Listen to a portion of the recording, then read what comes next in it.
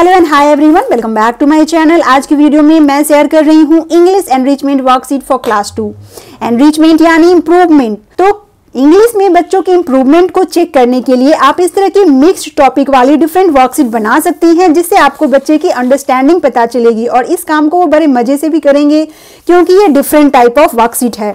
तो वीडियो को अंत तक देखिए पसंद आए हेल्पफुल लगे तो प्लीज़ एक लाइक से मुझे मोटिवेट करें और चैनल पर नए हैं तो सब्सक्राइब ज़रूर करें। चलिए अब वीडियो शुरू करते हैं।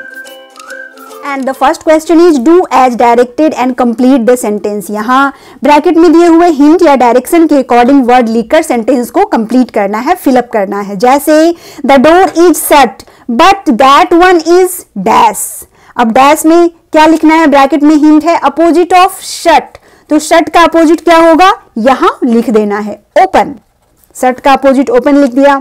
इसी तरह से next the girl jump dash the floor अब यहाँ यूज़ अ प्रीपोजिशन बोला जा रहा है तो इस फिलअप में प्रीपोजिशन भरना है। तो क्या होगा? The girl jumped on under above the floor तो यहाँ सोचकर बच्चे को लिखना होगा ऑन द फ्लोर सही ऑप्शन होगा। Then dash must wait here till the rain stops use a pronoun यहाँ प्रोनाउन यूज़ करने के लिए बोला जा रहा है तो क्या कर सकते हैं यहाँ? We must wait here till the rain stops next Sam is wearing a new pair of leather dash use a noun अब पेयर ऑफ़ की बात हो रही है तो ऑब्वियसली पेयर में क्या होता है लेदर का?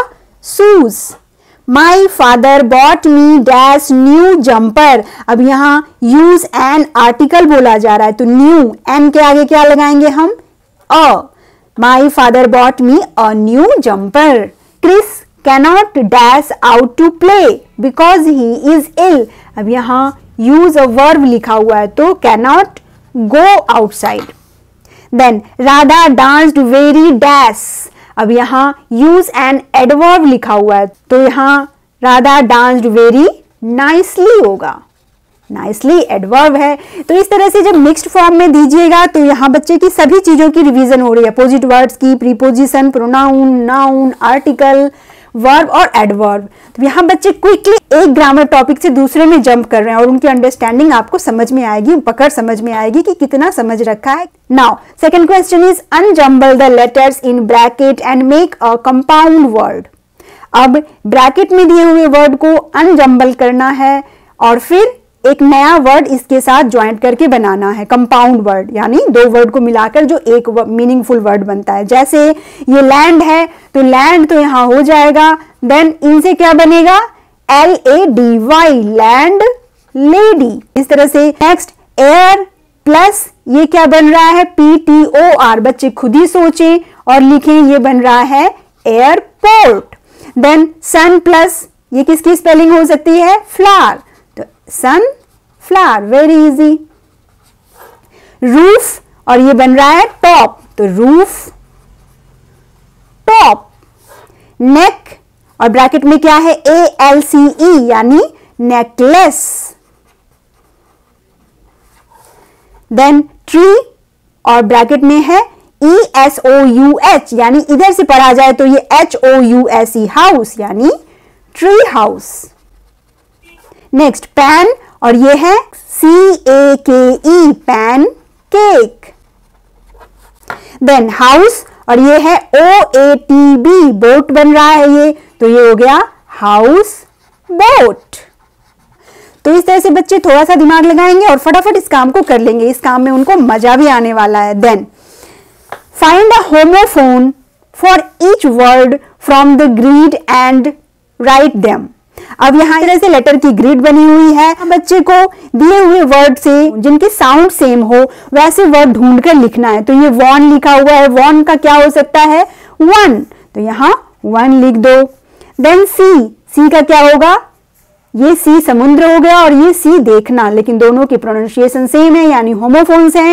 एट नंबर वाला एट और दूसरा एट यानी खाया।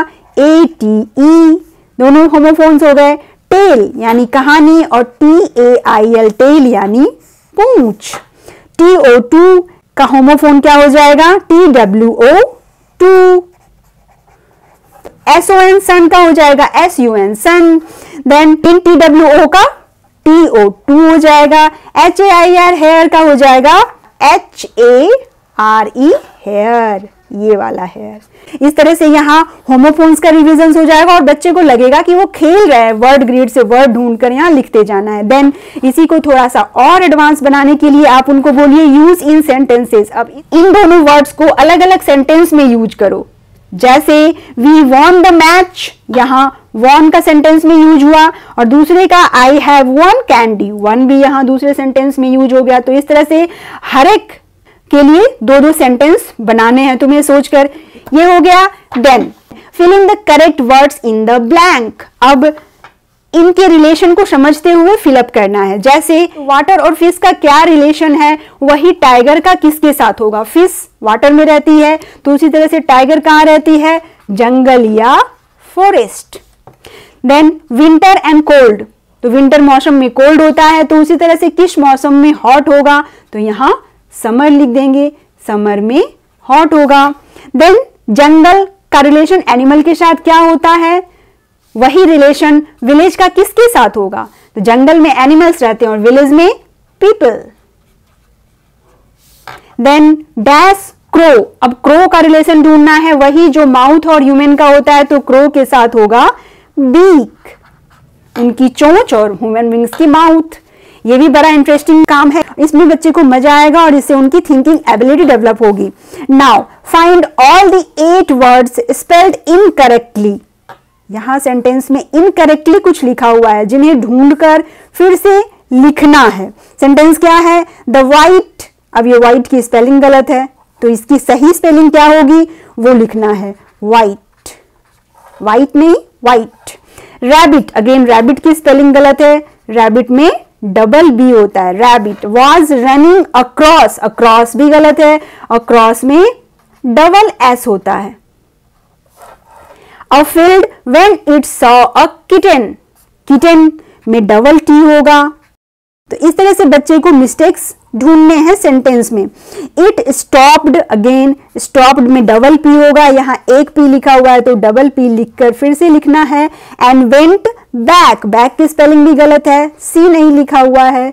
तो इस तरह से सारे रॉन्ग या इनकरेक्ट वर्ड को ढूंढकर यहाँ सही करके लिखना है। और इस तरह से इस क्वेश्चन से बच्चे की कंसंट्रेशन या फोकस पावर को डेवलप किया जा सकता है। कई बार बच्चे रैबिट पढ़ लेंगे और आगे बढ़ जाएँगे। यहाँ नहीं ध्यान देंगे कि बी एक ही है या किटेन में डबल टी है पी छोटा का एक ही पी लिखा हुआ है। ये छोटी छोटी चीज़ें बच्चे मिस कर देते हैं और आगे बढ़ जाते हैं। तो इससे उनकी कंसेंट्रेशन चेक होगी।